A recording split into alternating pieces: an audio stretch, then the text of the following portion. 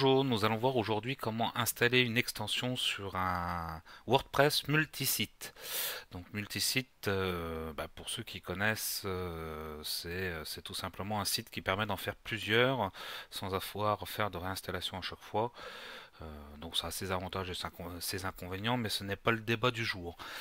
Donc pour installer une extension sur un WordPress multisite, il faut d'abord vous rendre dans l'administration du réseau. Hein, ça ne se passe pas dans, le, site en, lui-même. Et donc là, bah, vous cliquez sur extension au niveau de l'admin du réseau. Et donc là, vous voyez que vous avez un menu euh, un peu plus léger que, dans, dans, les sites. Et donc vous allez dans extension ajouter. Et donc là, ça se passe sur euh, comme, sur n'importe quel euh, WordPress. Euh, donc moi je vais installer WP Backup. Tiens. donc vous faites votre recherche dans le champ de recherche, vous cliquez ici, plusieurs propositions vous seront faites et donc vous installez celle qui vous intéresse. Donc moi en l'occurrence WP Backup. Donc le temps que ça se charge, vous allez voir que ensuite bah, ça se passe toujours pareil activé sur le réseau. Au lieu que ça soit activé sur le site, c'est sur le réseau.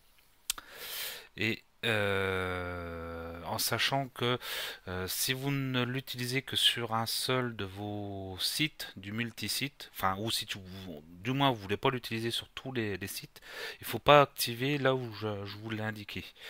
Euh, donc on va prendre pour, pour, pour imager, voilà, elles sont toutes elles sont toutes installées. On, va en ajouter une autre pour, euh, pour vous montrer un peu euh, la différence. Euh, donc on va mettre, on va mettre, qu'est-ce qu'on va mettre? On va mettre un code styling. Hop, donc on recherche. Là, celle-là, je vais donc l'installer, mais je ne vais pas l'activer sur tout le réseau. Voilà, installer maintenant. On valide.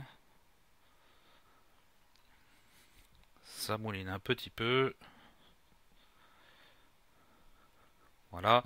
Et donc là, je ne clique pas sur euh, activer sur le réseau. Et en fait, donc si je vais sur, euh, mon site euh, lambda, enfin sur un des sites du multisite, donc on retrouve notre panel avec là si on va dans extension, vous verrez que voilà, on retrouve code styling qu'on peut choisir d'activer ou non. Voilà. Donc ça c'est pour les extensions que vous ne voulez pas activer sur tous les sites. Hein, donc ça se fera au cas par cas. Et sinon, vous voyez que bah, les autres extensions ne sont pas disponibles puisqu'elles sont activées par défaut euh, dans euh, le multisite. Voilà, bien écoutez, je vous dis à bientôt pour un prochain tutoriel vidéo.